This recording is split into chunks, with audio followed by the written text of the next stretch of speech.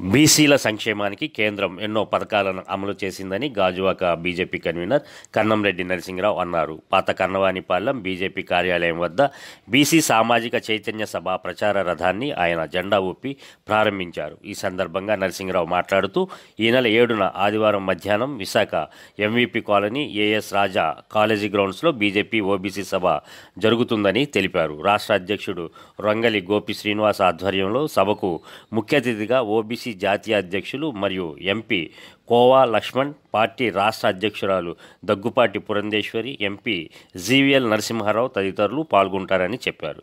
ఈ కార్యక్రమంలో రామస్వామి ప్రసాద్ శిరీష్ తదితరులు పాల్గొన్నారు. గోపి శ్రీనివాస్ గారి ఆధ్వర్యంలో ఈ కార్యక్రమం జరుగుతుంది. దీనికి ముఖ్య అతిథిగా జాతీయ ఓబీసీ అధ్యక్షులు గౌరవ రాజ్యసభ ఎంపీ శ్రీ లక్ష్మణ్ గారు అదేవిధంగా భారతీయ జనతా పార్టీ రాష్ట్ర అధ్యక్షురాలు మాజీ కేంద్ర మంత్రి శ్రీమతి దగ్గుబాటి పురంధరేశ్వరి గారు మిగతా పెద్దలందరూ కూడా పాల్గొంటున్నారు.